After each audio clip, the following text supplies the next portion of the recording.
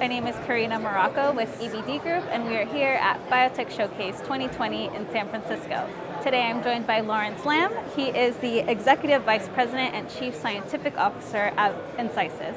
Thank you so much for joining us today. Thank you. Um, so could you start off by telling us a little bit more about your company?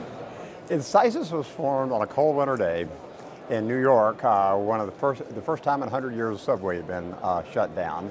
I was in New York uh, on business and William Ho, who currently at that point in time ran a fund called Ada Point Capital, uh, had been to the ASH meeting uh, before, uh, a few months before, and had heard about, had talked about different types of immunotherapies than CAR T cells. One of my colleagues who spoke with him at the ASH meeting called him and told him that I was in town and that I was marooned at the Waldorf Astoria. It's not a bad place to be marooned at. And he walked up from his office at uh, 28th and Madison to uh, come down and uh, have lunch. And we talked about gamma delta T cells and uh, alternative types of immunotherapy uh, for about three hours. And at that point, uh, we decided that uh, to move forward with uh, at least scale up and uh, validation of a clinical, uh, a clinical ready uh, procedure. And then uh, ultimately, once that was completed and we had finished our INDs, I wound up leaving my position as professor of medicine at UAB and joining the company just about a year ago, January 1st, 2019. Great story. Um, so can you tell me more about the observations that led to your immunotherapy program? Yeah, I had the uh, I had the high privilege of doing a postdoc with Adrian Gee, who was formerly the uh, director of the immunotherapy program at Baxter Laboratories uh, before he went back into academics. And this was in 1991. I was his postdoc uh, at the University of South Carolina. And during that time, I had a project to watch immune reconstitution from bone marrow transplant patients who had received alpha beta T cell depleted grafts. Uh, and we noticed during that time that uh, several patients were developing very high numbers of gamma delta T cells, not all of them, about a fourth of them, uh, and that these patients were living longer and uh, their disease was not relapsing. Uh, where at that point in time, transplant was very edgy. Uh, and patients were very sick when they came to transplant, and the survival rate was 20 to 30 percent, where we were up around uh, 90. Uh, and we did a lot of biology uh, to show that the uh, gamma delta T cells were donor derived, that they kill the patient's leukemia, patient's leukemia cell lines, that sort of thing. And we did a six or a nine year look back to see if that effect was still, still durable and uh, it was with 71% surviving eight years out and um, and 22% uh, that didn't develop the finding uh, still surviving. Now, Ken, I wanted to put in just a little uh, a little comment about that because uh, this was a sort of emotion fueled as well. I remember uh, there was a time uh, in the uh, mid 90s when we were taking care of about uh, unusually six uh, adolescent girls that were on the bone marrow transplant unit at the same time. Uh, and they got to be good friends with each other and did things together. And by December, all of them were dead but two. And this kind of hit me during Christmas about that time that, that number one, that I was pretty bummed out about it, but number two, that uh, both the girls that were alive were girls that had increased gamma delta T cells. And I said, we need to do something about this, you know, and sort of formed the basis of the next 25 years of my career.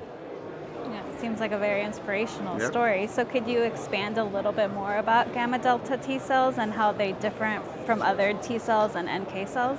Gamma delta T cells are a um, they are linked between what we call the adaptive immune system, which are classical T cells that express CD4, CD8, uh, recognize peptides, that sort of thing, and the innate immune system, which are first responders. Uh, gamma delta T cells uh, can kill several different ways uh, through the T cell receptor, through a molecule called NKG2D. They can recognize antibody-coated cells a, with a phenomenon we call antibody-dependent cellular cytotoxicity, and uh, they can also present antigen that uh, can enhance and in, increase an immune response by drawing antigen uh, recognizing alpha beta T cells into the response as well. Uh, I like to use a military analogy. They're kind of like uh, what we call an A1, AC-130 gunship that has guns and on every side of the uh, side of the plane. You can't uh, you can't shoot at it from anywhere, and uh, it seems and gamma delta T cells are much like that. They kill like NK cells uh, primarily through uh, perforin granzyme and recognition of NKG2D, but they don't have a lot of the inhibitory receptors that NKG2D uh, th that NK cells do, and they don't. Um, they're, they're MHC independent. So regardless of the uh, MHC status, the gamma delta T cells can recognize the malignant cell and kill it. And so I see that one of your main platforms is something called drug-resistant immunotherapy. Can you expand a little bit more about that? Yes, we, we uh, showed back in the uh, early 2010s uh, that um, we could increase the receptors that gamma delta sees on cancer by giving chemotherapy. But it was only for a very short time that the receptors can upregulate by about 600% uh, during the time that therapeutic levels of chemotherapy are on board. Once they fall off, the DNA damage caused by the uh, chemotherapy starts to repair, it starts to be repaired in the cell and these receptors, their stress receptors, start to go back down again. It's like the cell goes, all right, I'm done with that. But you can't give chemotherapy and cell therapy together at that point because the chemotherapy also kills your responders, kills your gamma delta T cells, your alpha beta T cells, your NK cells, like everything that responds. So even though you've got this tremendous setting for an immune response, you haven't got the soldiers there that can come in and deal with it. So what drug-resistant immunotherapy is, in the first iteration that we're working with, is we put a, a gene in the cell that is the same gene that makes a brain tumor naturally resistant to this its uh, principal form of uh, chemotherapy, temozolomide. So the gamma delta T cell remains fully functional at therapeutic and super therapeutic levels of chemotherapy so that you can actually treat the patient while they're getting chemotherapy and while these receptors are upregulated. So what we've found in our animal models is we can go from um, just a small increase in median survival to animals that are where, in which tumor is totally eradicated and uh, live uh, disease-free until we decide to go in and have a look at the, at, at the brain or the tissue that we're, uh, that we're treating. So drug-resistant immunotherapy means that the immunotherapy, the immunotherapeutic cell has been modified to be resistant to the chemotherapy. And so on top of that, could you summarize some of the current clinical trials? Yes, we have two clinical trials getting started. The, fir the first drug-resistant immunotherapy trial is in glioblastoma. Uh, it will uh, begin to accrue patients in the next two to three weeks. Uh, we have all of our approvals, and this will be done at the University of Alabama, Birmingham with Dr. Burt Nabors as PI. Uh, Burt has done a number of uh, clinical trials. He uh, heads the Neuro-Oncology Clinical Trials Consortium, uh, along with two others, and is a great place to do this work. The second trial is very different. It's not, it's not drug-resistant immunotherapy. It's replacing uh, the, immune the lapse in immune reconstitution that occurs during allogeneic bone marrow transplant.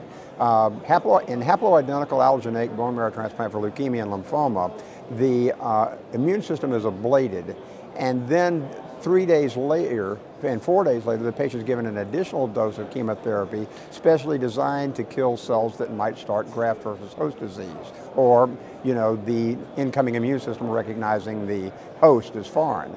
Uh, this puts a patient in uh, a profound state of immune deficiency for an extended amount of time, and the patient can relapse their cancer uh, during that time. As a matter of fact, the relapse rate is around 50 percent.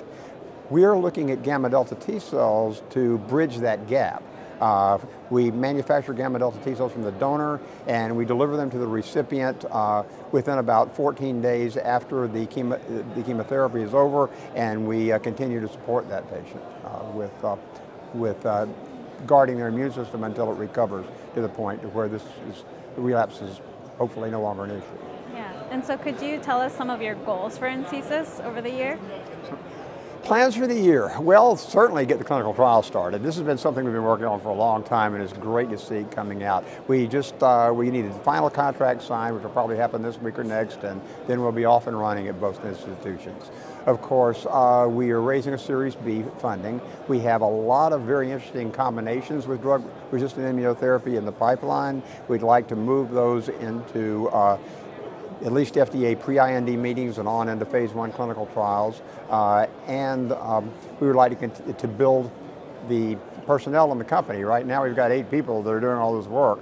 Remarkable that we've been able to do this with just eight people, but I think that uh, we could do a lot more with more folks. So we plan to build out the company, uh, uh, book our Series B, and on to further indications and uh, phase two uh, trials of uh, different combinations.